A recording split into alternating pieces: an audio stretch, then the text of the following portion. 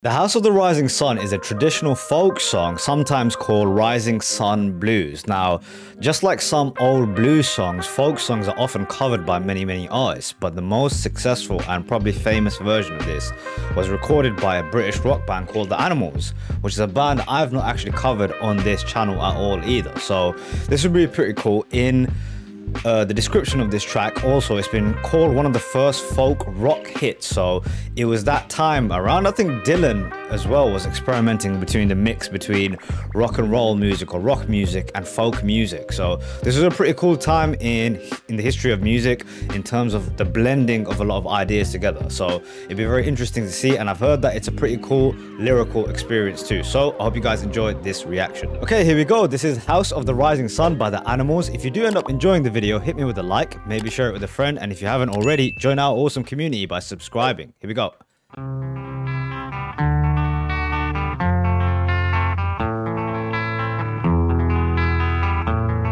Very somber. There is a house in New Orleans. They call the rising sun. He's got a very unique voice. It's been the ruin of many a poor boy. In God, I know I'm. I like the atmosphere of this one. Very interesting.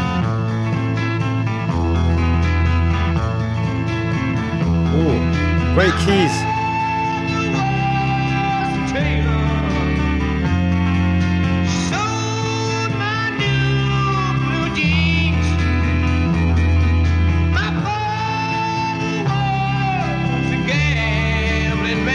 Love the passion in his voice.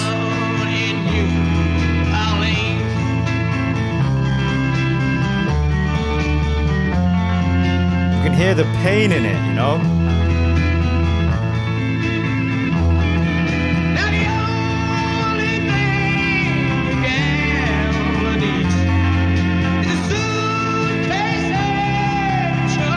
Sounds like we're building. And the only time he's satisfied is when he's on a drum. Okay, I love, love, love the atmosphere of this thing. Um, it seems to be a tale from the first person of a per- of a young man who's kind of lost his life to what he's called the rising sun. They call the rising sun. It says this house. It might be uh, a gambling spot because he seems to be talking about gambling addiction in his place. He also talks about drinking issues if when he's all drunk. So maybe it's also a bar, a tavern, maybe. Uh, maybe it's just a, a word he represents for something greater, the lust or addiction that exists in him. It could be, it could mean anything. It could mean anything to you. But it's very cool. Very, it's like a almost a cautionary tale. It seems like. Love the vibe. Very somber atmosphere, almost like a funeral.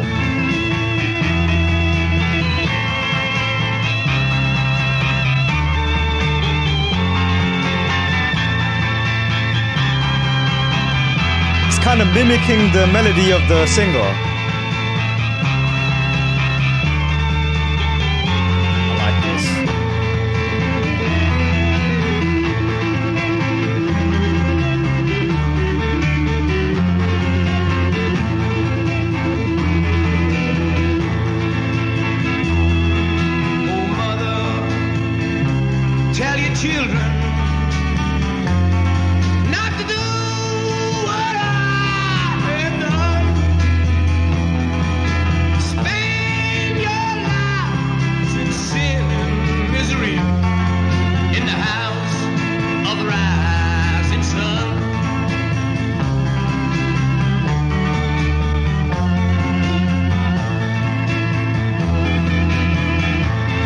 Great sense of pain in his voice.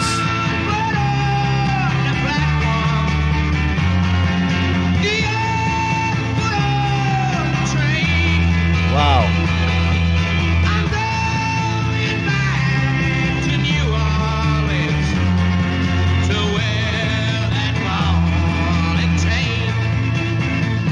Best verse yet.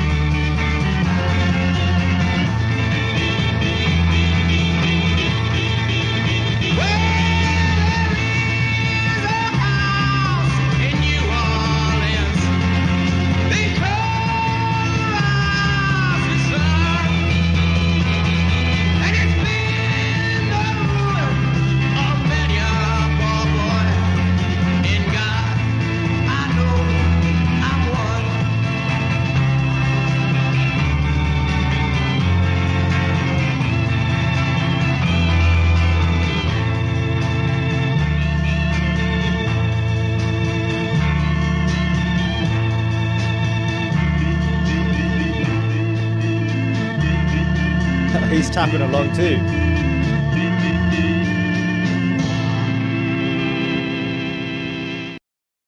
That was an incredible song. Incredible song, especially for what it was, right? It was telling this story.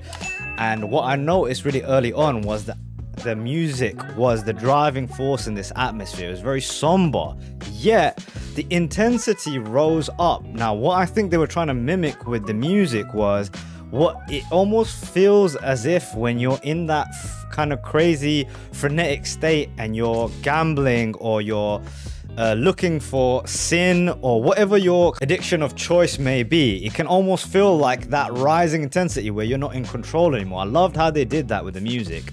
Um, big shout out to the keys player on this and the drummer, right? The drummer was doing uh, almost a laid back thing, not laid back, but he he served the purpose of the song, just keeping that tempo but rising up with the music. Really, really cool, especially the keys too. The keys really added to the vibe of this thing. Singer's voice really portrayed the idea of that he was this guy. It was from his point of view and it was really a cautionary tale. You know, he's telling his mother, like, keep your kids, the, my younger siblings, away from this life of sin, which he spoke about. And then I want to lastly speak about the last, last verse and what he kind of means by this. He says, Well, I got one foot on the platform, the other foot on the train. I'm going back to New Orleans to wear that ball and chain really interesting. He's like caught in two worlds, he's saying. He knows what he's doing is bad.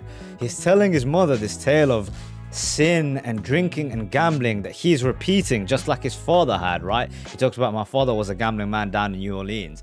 And he seems like he is not able to break those chains to wear that ball and chain. He's doing it just like his dad. He knows it's bad. He's seen his dad do it. He's telling his mom what he's doing is bad, but yet his foot is still on that train on his way back to New Orleans. Really brilliant song, man. I love how it was written. Uh, shout outs to the people who wrote it because I don't think it was the animals, right? But they seem to have been able to understand the music or at least understand the story of this and transcend it and make it into something really powerful here. I really liked it, man. The atmosphere and the music set the tone for this thing. Brilliant track. Two thumbs up.